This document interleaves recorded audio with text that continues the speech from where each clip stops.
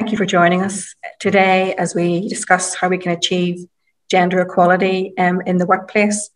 With me are two very formidable women with a track record of success in numerous campaigns and as advocates for women and for social inclusion.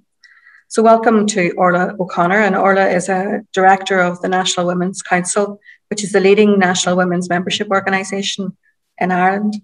And Orla was recognised as one of the top most influential people by Time magazine in 2019 for her role in the Together for Yes campaign, which is widely known. Orla has led numerous high level successful campaigns on a wide range of issues on women's rights, including social welfare reform, something close to my heart, pension reform, and for the introduction of quality and affordable uh, childcare. So, also with us today is Senator Alice Mary Higgins. And uh, Senator Higgins has served as a senator for the National University of Ireland since April 2016. She is a leader of Civil Engagement Group in the 25th uh, Seanad. Alice Mary is a proven legislator and a track record second to none as an advocate for equality international development and social inclusion. Inclusion. So very uh, impressive individuals, and I'm so delighted they're able to join us here today. So you're both welcome, and I look forward to discussing the issues around gender equality and how companies, wider society, and legislators can address the age-old issue um, of gender equality. So I think what I'd like to discuss today um, is what the term gender equality actually means and what the barriers that are facing women in the workplace today and the importance of the recommendations for this from the Citizens Assembly, which you know you're familiar with, if gender quotas quotas actually work. Um, and talk a bit about um, the, the recent introduction to the Dáil of the Gender Pay Information Bill, which is a, a hot topic. And so there's plenty to discuss today. I'm sure there are plenty of questions and plenty of answers um, uh, from from both of you. So, if I, if I can start off by saying, um, you know, what do we actually mean by gender equality, and that question goes to you, Orla, because I think it needs uh, some inf- some kind of explanation. So, what does gender equality in the workplace actually look like, and you know, what do you think the barriers to achieving it is? Is it all about pay? Well, I, I, think it means many things. And just first of all, to say thank you, Sharon, for you know for host for organising this webinar, and it's great to be uh, joining Senator Alice Mary Higgins as well, um, because I think this is a really good moment to be talking about gender equality in, in the workplace. Um, and particularly i think because as we're although we're still in the covid the pandemic period but but the experience of covid i think has brought a whole new discussion on what gender equality in the workplace means. And it's raised i think it's put a spotlight on so many of the inequalities that were there for women. And i think women have you know a very different view about what gender equality should look like coming out of this um, so, so I suppose you know, f- for me and for the Women's Council, it, it it's about it's about equal participation, but it's also about equal outcomes in terms of the outcomes for women from from paid work. So, you know, so yes, what does it mean in terms of pay, but what does it mean also in terms of quality of life, in terms of how you're you how you combine um, both you know paid work with all of the other aspects of your work of your life. Um, and, and I think that's why the COVID piece is, is so important in this because certainly what women have been saying to us and what the members members of the Women's Council, but you know, over the past you know year and a half, women are absolutely, you know, saying very clearly that, you know, they're still the main carers, that while they're in paid work, they're also, you know, they have two complete jobs, full time jobs, in terms of doing all of the care within families. And really being, and I think that's what COVID showed is that it's it's not always about you know doing the care but it's the whole responsibility for care within families care for for other family members care for children and how that gets combined with paid work and that's hugely challenging and that our model of work doesn't allow for that. And similarly, our model of work doesn't allow for participation in so many other aspects of life. So, you, you know, it, it's it's made so difficult to be able to make choices. Um, and I I think very very central, and again, I th- think this is an issue that's come up in COVID, is in terms of women, you know, women being very much the, the majority uh, worker in low paid jobs, in part time work, in precarious work. And, and, and really, you know, the fact that that has been so compounded, it's been compounded in terms of, you know, we see really high numbers now of women who are unemployed, particularly young women. Um, the sectors that women worked in, those low paid precarious sectors, were, were sectors that have, have really got compressed.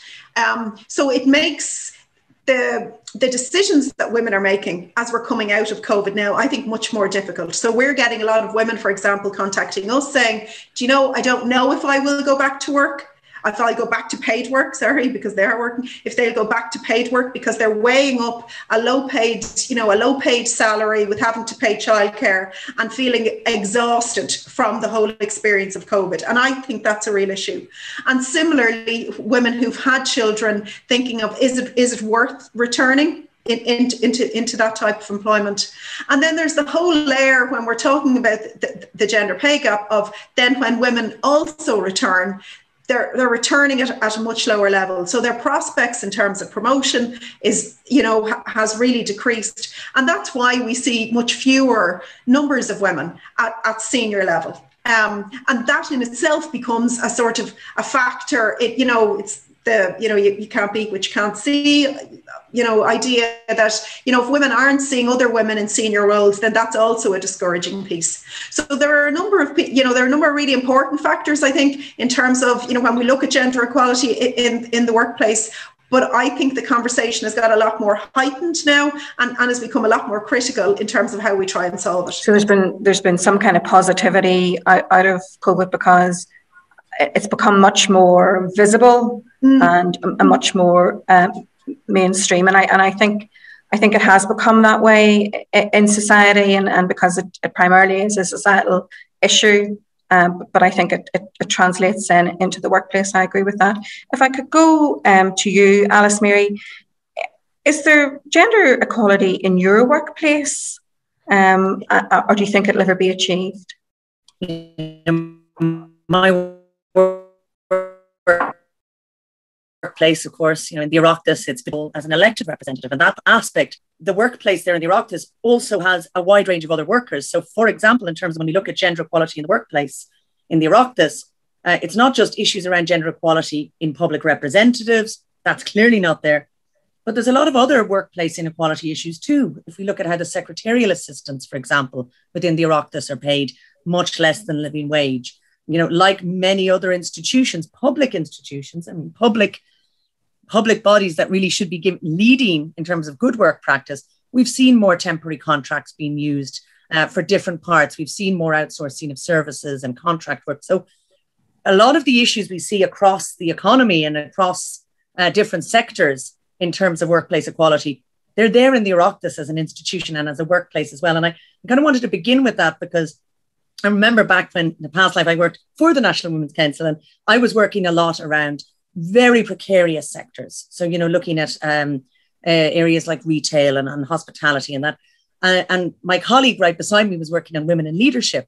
And something that we always tried to do was to join the dots. So when you think about a workplace, it's we always call it almost like from the boardroom to the to the shop floor. You know that you you need to think about everybody in that workplace and what equality looks like there. And I think that's important. But of course, in my workplace, there is a huge issue with inequality in terms of the political representatives. We do not have anything like the equality we need in terms of women in politics. The Seanad is now kind of at about a third, which they say is a tipping point where culture begins to shift. Uh, the Oireachtas, uh, the Dáil only has moved really to 22% or 23%, having been at 16%, you know, wildly for years.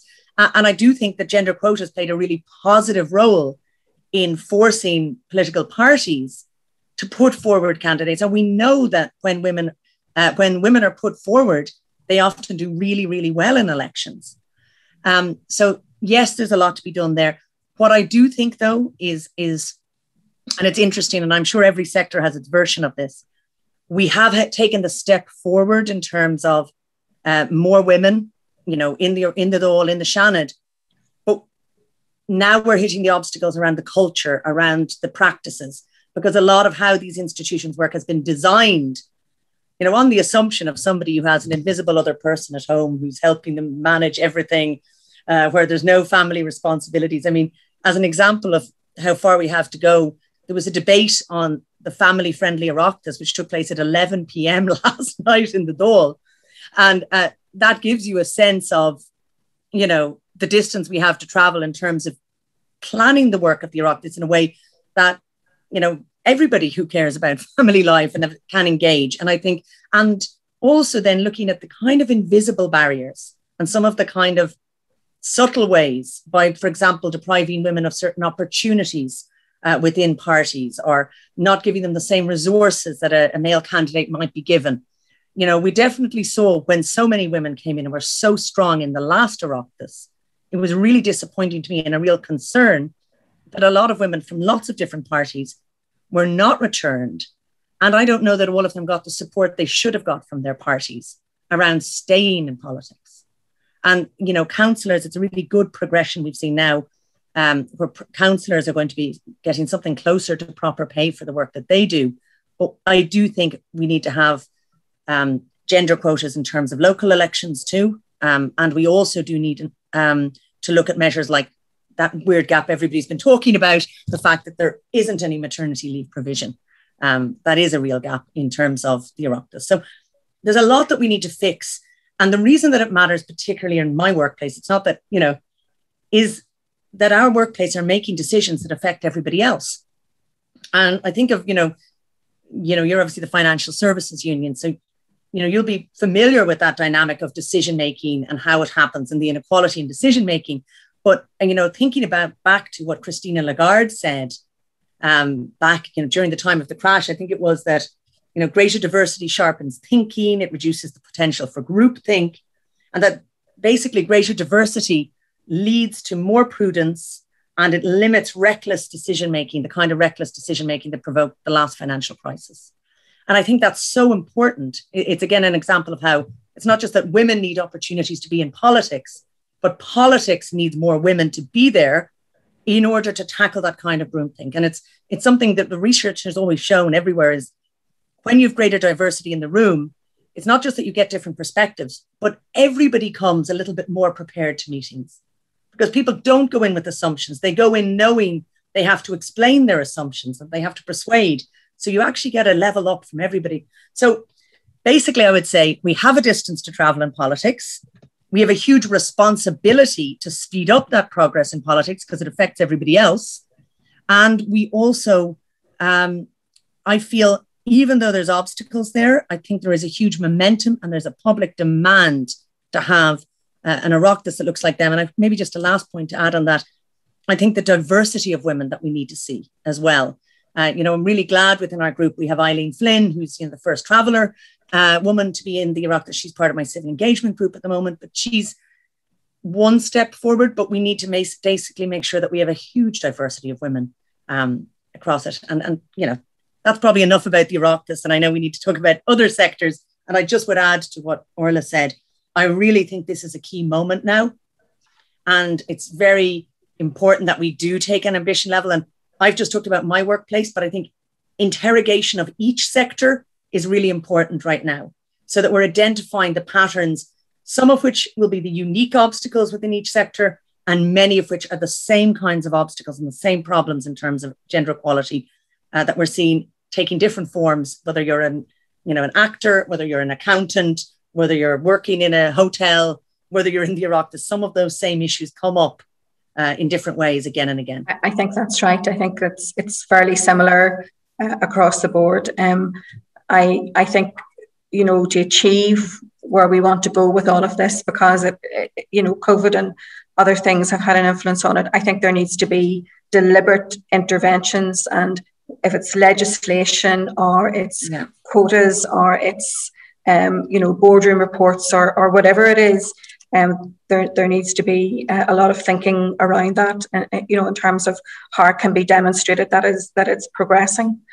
Um, just just to agree with you very briefly, I think I really agree that legislation and real measures are what actually drives change because um, voluntary codes are fine, but they really only get you so far. And that's why I, you know, I think that's where we have a responsibility as legislators. But it's it's interesting even in terms of the boards issue, and I'll, I'll leave that now. But it was only when there was the threat of a European directive on 40% women on boards that suddenly we saw some measures to bring women forward on board. So I think it's a it's a reminder that we really do need those strong measures. I mean, just moving that discussion on, I, I don't think that we can have a discussion on gender equality in the workplace without referring to the recent recommendations from the Citizens Assembly. Uh, for example, and the Assembly has agreed and recommended 45 points. And um, I really wanted to get a view from both of you on the importance of those recommendations from the Assembly and, you know, were you surprised and, you know, what should happen next? And if I go back to you, Orla, I recently heard you say on the radio that every woman in Ireland is tired of waiting for change. And, and that really rung true, I think, um, uh, for, for, for women. And do you think the Assembly recommendations actually go far enough? And, and what do you think and should happen next? and and particularly what should happen next? What should happen next in terms of the, the constitution and any changes? I think the Citizens Assembly recommendations were groundbreaking, are groundbreaking because they really did. I, I think they went far, and but particularly I think their emphasis on um, public services and the need for public services for you know to address the inequalities that women experience. You know one of the things that's important about this citizens assembly you know in comparison to, to, some of the recent ones is this is probably the first where they've really got to say something about economic issues. And they gave a very clear direction in terms of economic issues around public services public investment and also, they gave a really strong statement in terms of saying that, you know, and yes, society needs to pay for them through, you know, through redistribution, through taxation. Um, so I think they were really important messages uh, and really strong. And then within the actual recommendations, I think absolutely on the Constitution, I think it's really significant with the fact that they took a very sort of broad um, you know, they, they recommended that the Constitution should have a broad understanding of care to really recognise the value of care for the common good. Um, also, they went further than because originally, you know, the Assembly was predominantly to look at that Article 41.2, which relates to, you know, what's considered as women's place within the home. But they went beyond that and said that the whole article needs to be changed because it, we need to move away from a definition of um, of the family based on marriage. And they also recommended a whole sort of anti discrimination clause within our constitution, which, which I think is very strong. So, you know, I think once again, we really do see, you know, when, when there's those moments where citizens can have the time to discuss to deliberate the issues when they're given, you know, a, a, huge amount of information actually um, and, and, also, I think it's enormous. Like it's, it's quite astounding, really, that all of this took place online, um, because we know how difficult it is in terms of these sorts of conversations that are deep conversations. But to be having this online and to have come forward with, with the recommendations that they did, and you know, I, I, think it was interesting as well that in the announcement of the voting, Catherine Day, who's the chairperson, um, when she, repeatedly on radio, she was being said, "Oh, but sure, you know, you know, really, do the citizens really think?" This. Um, and, you know, she repeatedly cited, uh, you know, very clearly that when you look at the votes on marriage equality, on abortion, actually the citizens were very accurate. And what was reflected in the Citizens' Assembly was reflected in those votes.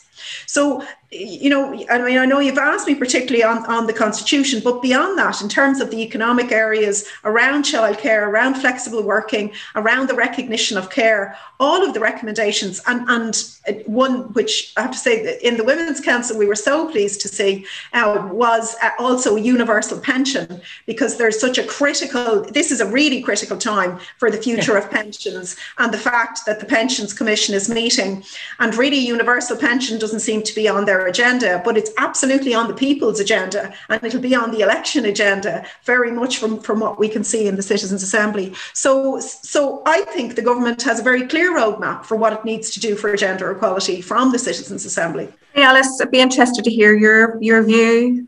I, I think it was such a strong mandate. Like the message is so clear and, and the fact that so many of these decisions were made, I mean, even in contrast to other citizens' assemblies, they were made by 80% and 90%, you know, really strong, strong message. And uh, from the kind of top down I think that fundamental point that they talk about the state's basically obligation to recognize uh, uh, and, and have a responsibility in terms of care, making care be clearly a collective responsibility for the state. That message is really important. And again, this is something during COVID, it's, you know, both in one way a positive, another way a difficult, but because we know that women have suffered disadvantage in many cases because they've taken on caring work and had to manage caring work during COVID, and that many of women have individually, uh, you know, we, have seen that in, in many sectors where they've been carrying that work when some of the social structures we have for care were gone. But it's also made care really visible, the level to which all of our working systems rely on care, how it's that invisible support structure. And what's really significant is the state the idea that the state should, in the Constitution, acknowledge kind of a collective responsibility in relation to that.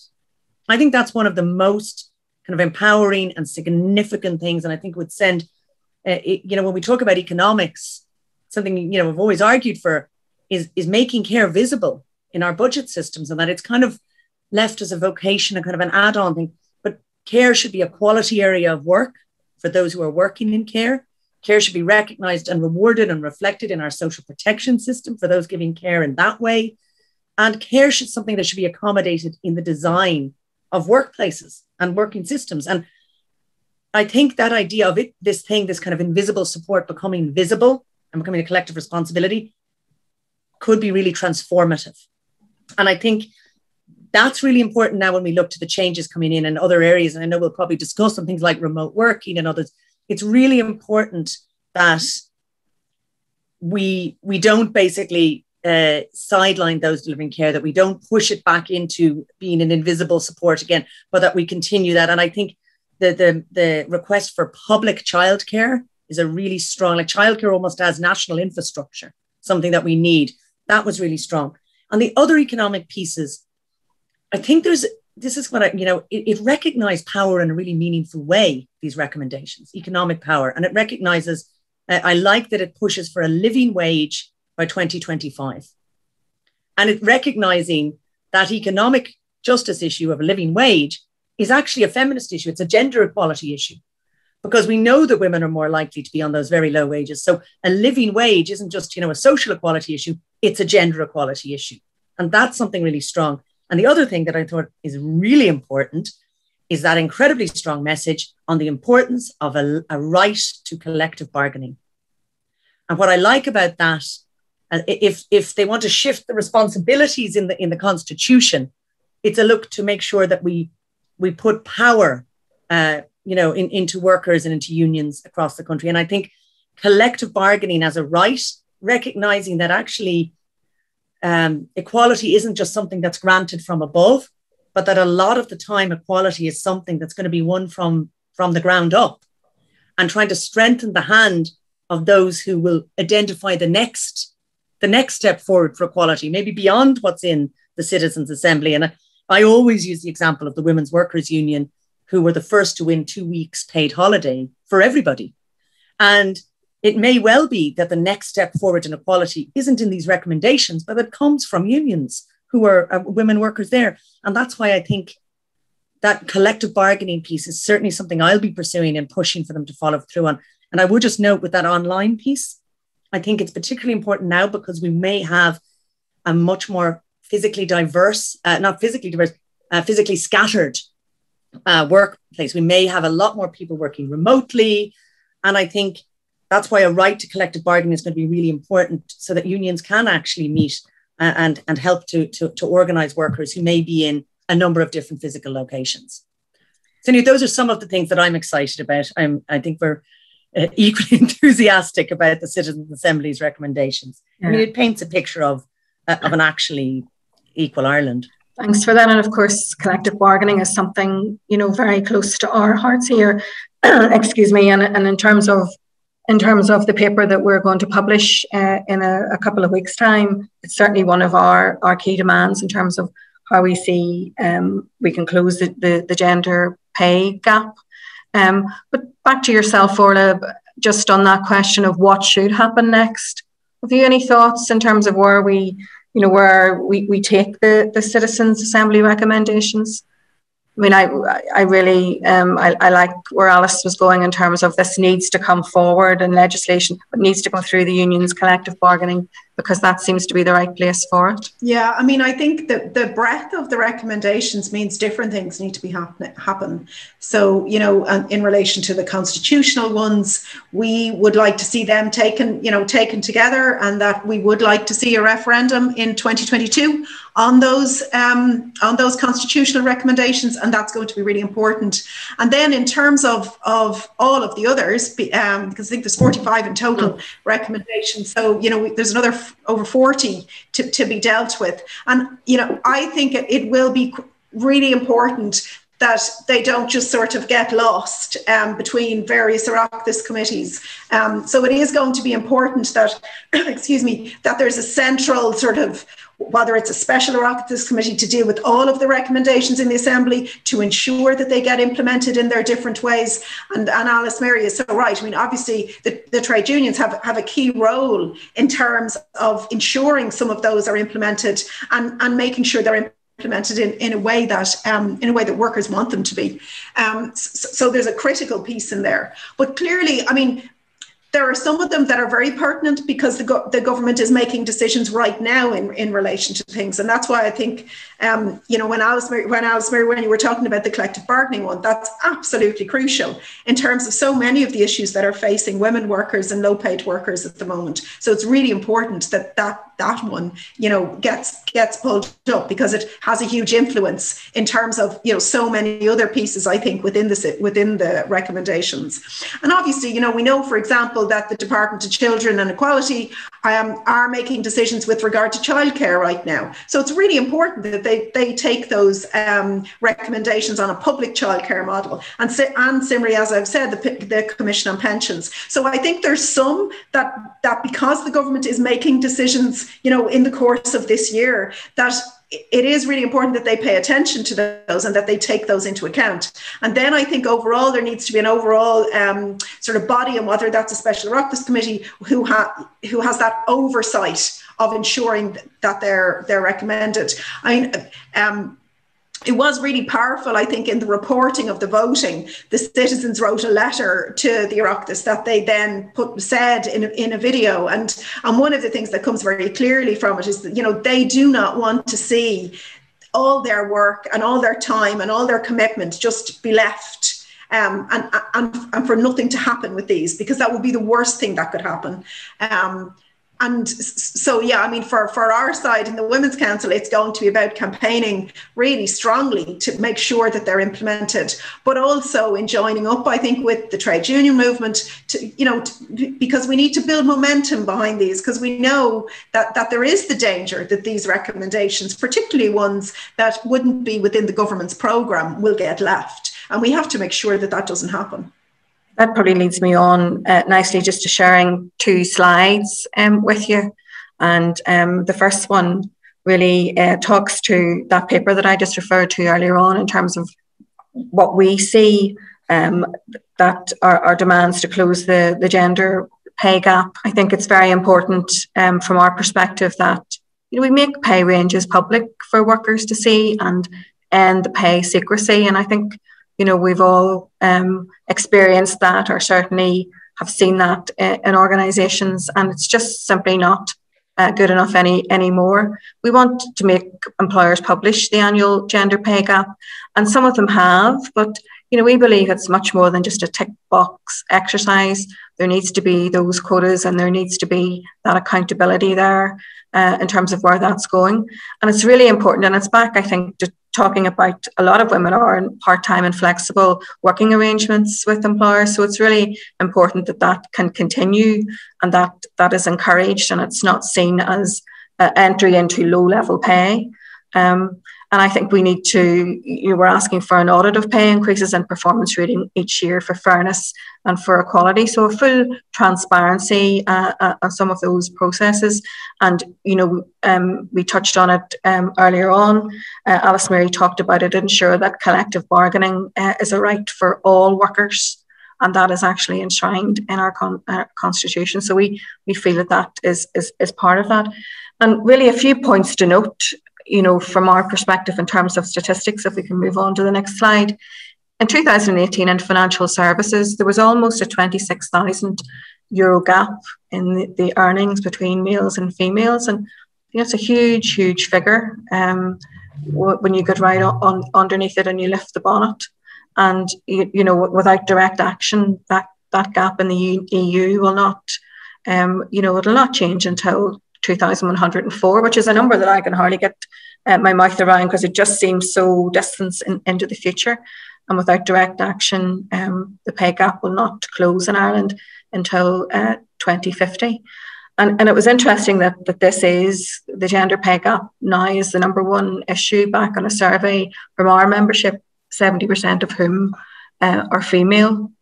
Um, so that was just that was it was an interesting exercise for us to do and you know certainly we'll be campaigning now on it because we think it's the way to go. And and I do like the idea of getting together with other unions and like-minded bodies and, and really raising the voice on, on this because I think there is certainly a collective understanding and a collective agenda because half the workforce are women. Um, and but you know they all the vast majority of them have another job as well outside of the office or the factory or the shop or, or wherever it is um, they, they happen to work.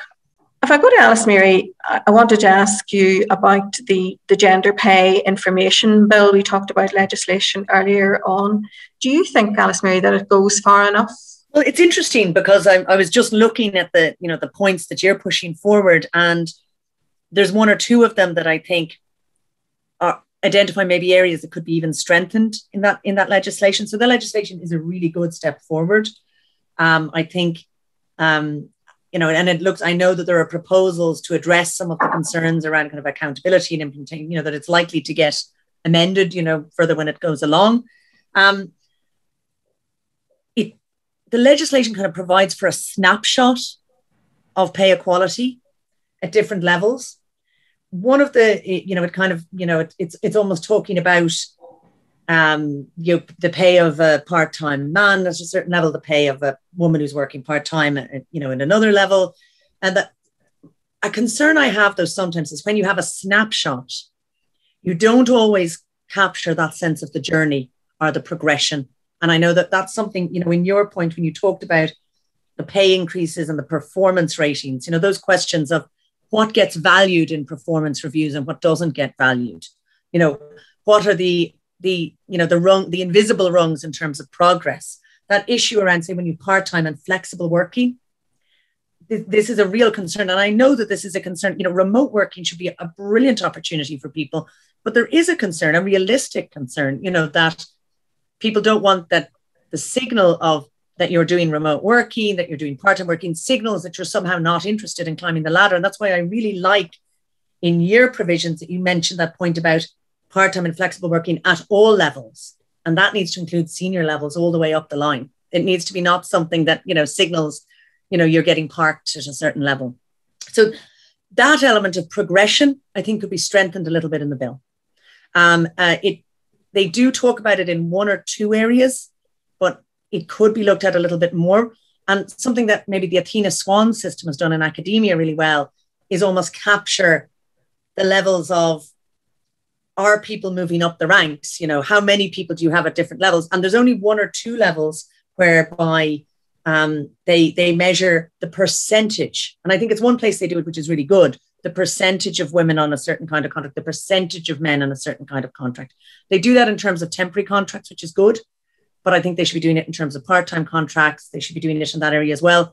And I'm also conscious of if temporary contracts is the vulnerable end, at the other end where you know you might be talking about a special assignees and you know these kind of uber categories of employee that you sometimes get within the financial services. And i don't know if some of them might slip through um, because it's an issue i'm concerned about more generally is the shift towards um, payment in dividends or payment in shares versus uh, income. And that's the bill talks about bonuses and benefits in kind but I'm concerned that some of that payment in shares element might not get captured by the bill. So there's a few little areas, but these are really areas that can be fixed. And one thing it does do that's really good is it does, this is maybe one of the places where we could begin to track uh, progress is it talks about how many within an organization are in the top quarter of income, the middle quarter of income, you know, the bottom quarter of income, and so forth. And I think that's something that could be could, more could be done with, you know. So those are some of the areas, but these I think it's going to be a really important piece. But just to add on what Orla was saying about the pension commission, just to give an idea of how important that is, um, the pension gap is 35%. So, you know, if we talk about a, a pay gap of about 14%, the pension gap is more than double that. And that's something that also really needs to be addressed. So uh, that's something maybe we can look to as well. Uh, and I think that involves not just an individual overhaul of organizations, but around uh, how we approach pensions as a whole, that universal pension idea. Maybe the last thing I would just say something, the bill will be good, but what we do with the information that comes out of the bill is going to be also really important because it shouldn't just be seen as a company by company health check, but it should be seen as a sector by sector health check. So, for example, if we notice a pattern in the insurance industry, uh, we notice a pattern in you know another area of, of, of uh, you know in terms of other areas of pay. If particular sectors are having particular patterns, then that might require the kind of sectoral interventions that we've had um, quite effectively through things like the joint labour committees in the past um, in terms of areas like um, uh, hospitality. And, and in conclusion, that's a question for both of you. And I know that there isn't one silver bullet here that is going to solve the issue of, of gender equality. But if there was one thing that you would like seen done, um, either from a legislative perspective or a society perspective, what would it be and, and what effect would that have? And Orla, I'm, I'm going to go to you. Sorry, it's a catch-all question. I find it easy saying pick one thing because yeah, like it's always a sort of a jigsaw. It's a it's a multiple piece that that needs to be done. Um, so I'm going to go to. so I think yeah, for, for me, implementing the legislation on the right to collective bargaining would immediately, I think, have an impact in terms of um, low paid women's conditions, um, and and that would be, I think, really important. Um, I also think the second thing has to be about the public care infrastructure, because my concern is that things like remote working, like flexible working, in under the current circumstances of an absence of, of a, a, support infrastructure for care may mean that, that it's, it's women going back and, and filling all those care gaps um, and filling them even more now because grandparents are much sort of less in the picture than they were before, which wasn't good and wasn't right. But, but we know from women are, are it has meant that they have taken on much more of that responsibility. So I, I think there's two things. We need that public infrastructure of care, and if the right to collective bargaining was done, and if that was done in the short term, that would help us on the road to some of the other things. But yeah, for me, it, it it's a it's a jigsaw of pieces that have to be put together and, and the things that you know both of us have spoken about this evening and for you alice mary collective bargaining and childcare like orla said but also i think that we move from the idea of good examples but to to systemic transformation so we're not just looking to individual women who are succeeding in a certain area um, individual businesses that are doing good things but we talk about actual systemic transformation. And two things we could do, I think, is if the public services and if all services that are paid for through public procurement, if everything we spend public money on came with a requirement and an expectation for decent working conditions, a living wage, proper leave policies attached, that would be one of the largest, most transformative things that we could do and it's entirely within the power of the state to do that by next year if it wished. So that's a really big transformative thing that would make a difference. And the other thing is legislation around um, predictable hour contracts, long term, greater security of contracts, banded hours. We really do need to make sure that the slide towards insecure contracts uh, is addressed. And I think that's something we have to do legislatively. Look, thank you both uh, for your very insightful views and, and opinions today. I've certainly enjoyed uh, the conversation.